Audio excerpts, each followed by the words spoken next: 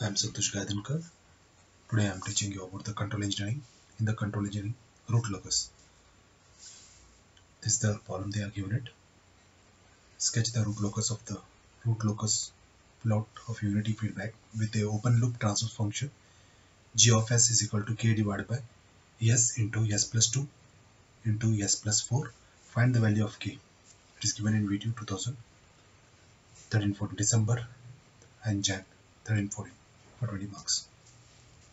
Solution First you have to find the number of poles. Number of poles.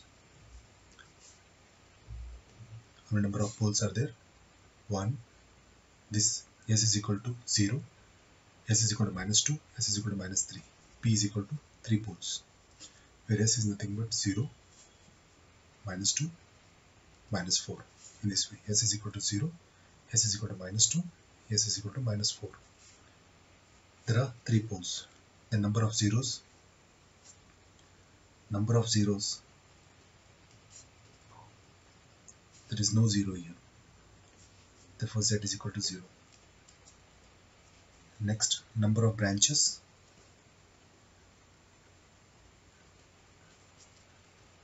number of branches therefore p is greater than z therefore p is equal to n it is 3 number of branches terminating at infinity. Number of branches terminating at infinity. At infinity. Formula will be p minus z. P is equal to 3 z is 0 therefore 3 fifth point. Root locus is symmetry about the real axis. Root locus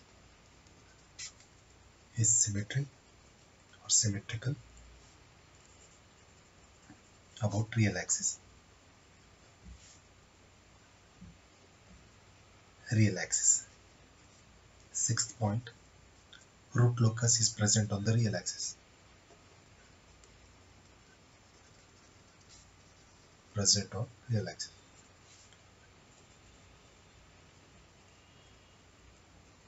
Seventh point, angle of asymptotes. Asymptotes. What is the formula for finding the angle of asymptotes? Theta k is equal to 2k plus 1 into 180 divided by p minus z where p is nothing but sorry where k is nothing but 0 1 2 3 and so on up to p minus z minus 1 the p is nothing but 3 z, z is 0 minus 1 is nothing but 2 the k value should be up to 2 0 1 and 2 now substitute k 0 2 into 0 plus 1 into 180 divided by 3 is nothing but 60 theta 1 is equal to 2 into 1 plus 1 180 divided by 3 is nothing but 180 theta 2 is nothing but 2 into 2 2 into 2 plus 1 180 divided by 3 is nothing but 300 next you have to find out the centroid. Centroid. What is the formula for centroid?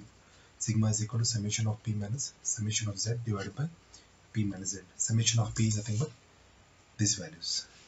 That means minus 0, sorry, 0, minus 2, minus 4 and 0. z will be 0 divided by p is nothing but 3 minus 0. z is 0. The answer for this one is minus 2. minus 2. Centroid is the minus 2. Next you have to find out the breaking point. Uh, breakaway point. Ninth is the breakaway point. Breakaway point. We call as a BAP. Breakaway point. And we have to consider the equation. Consider the characteristic equation equation that is 1 plus g of s into h of s is equal to 0 1 plus g of s and h of s is nothing but h of s is nothing but unity 1 okay you have to write this one. Divided by yes because they have already said that unity feedback. Therefore h of s is equal to 1 k is equal to s plus 2 s plus 4 this value I have written here is equal to 0 and this can be written as what? S s plus 2 s plus 4 plus k is equal to 0 now multiply these two. Yes will be okay I will tag directly. After multiplication you will obtain the expression as s cube plus 6s square plus 8s plus k is equal to 0 now you have to write the k I will consider here. K is equal to minus s cube plus 6s square plus 8s now dk by ds you have to do is equal to 0 differentiate this one. I will neglect the minus sign. If you consider the minus sign there is no problem. You will arrive the same answer. 3 sq square plus 12 s plus 8 differentiate you have to differentiate. And now find out the root. Find the roots of this equation. It will be s is equal to minus 0.8 0.45 comma minus 3.154 I'll take one more paper here. After getting the root you have to find out uh, crossover point on the imaginary axis. 10th point is cross over point of the root locus. Locus with the imaginary axis. Axis. For this one you have to use the RH RH criteria or theorem the name is same for this one you have to consider the expression you have to consider this the k has to present write down here s cube plus 6s square plus 8s plus k is equal to 0.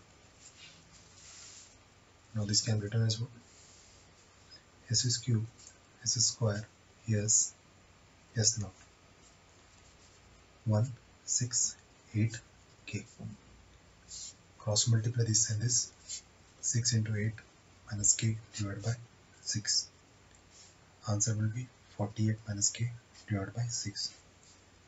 48 minus k divided by 6 and this one will be 0 if you multiply again and this and this it will be k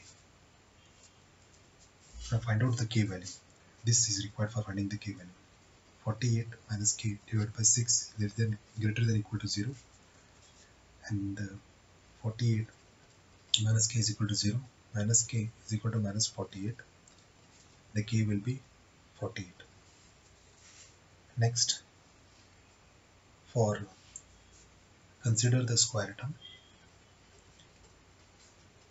It is indicate where the imaginary axis cut.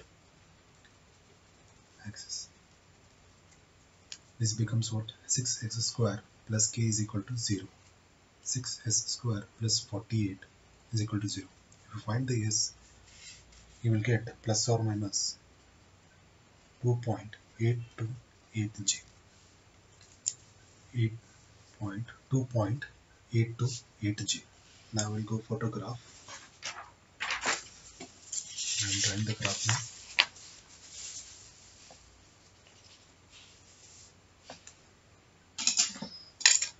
We'll consider the scale 1 is to 1.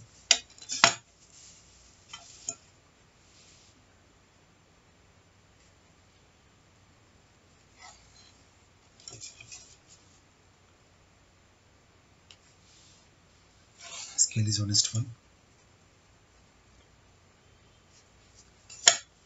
This is the imaginary axis GW real axis sigma. Real axis sigma.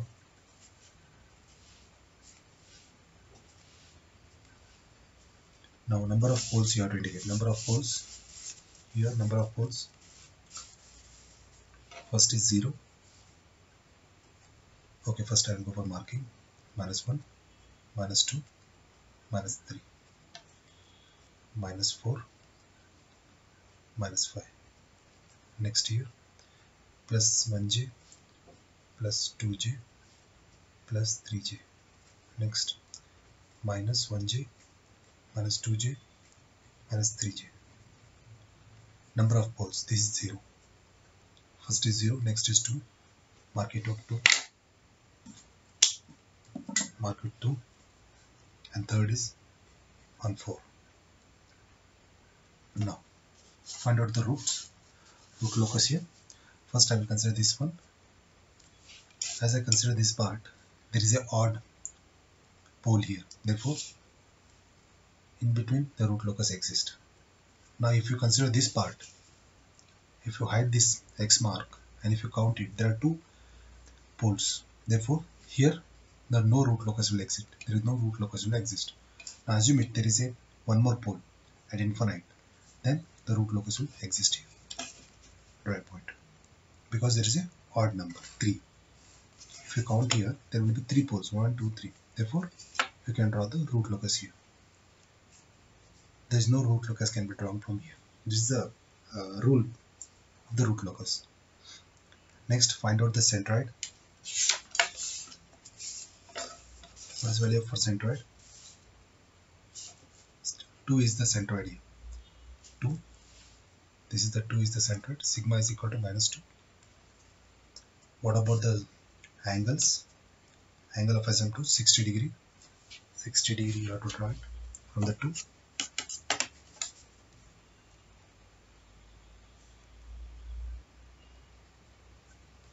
60 degree.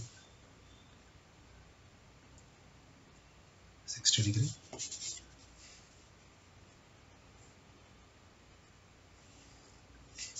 Sixty degree. Next is about 180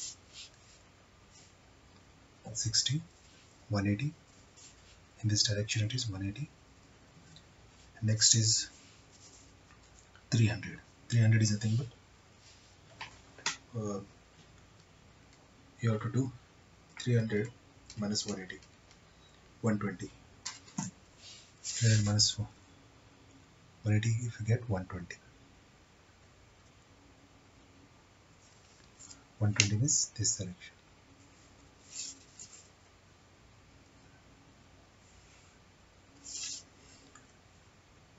this is 180 and next is 300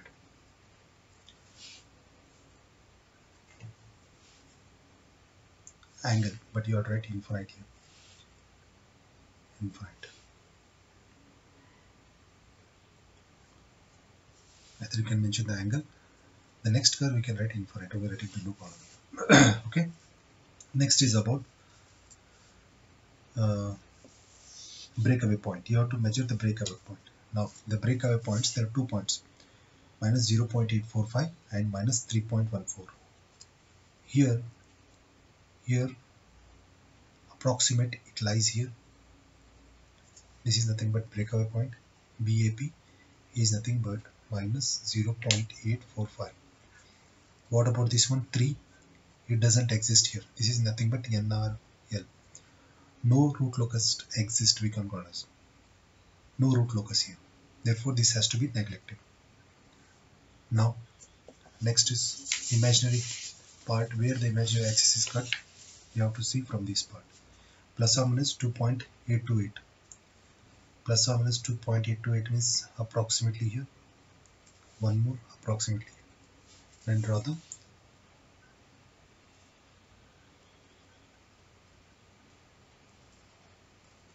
infinitely. Infinitely. This is your right infinite. Arrow up because the breakaway points exist between the two poles therefore arrow should be towards. And this will be upward and the k is nothing but k is equal to 48 you have to write breakaway point is 0.847 this way you have to write. I am Santosh Gaidhankar.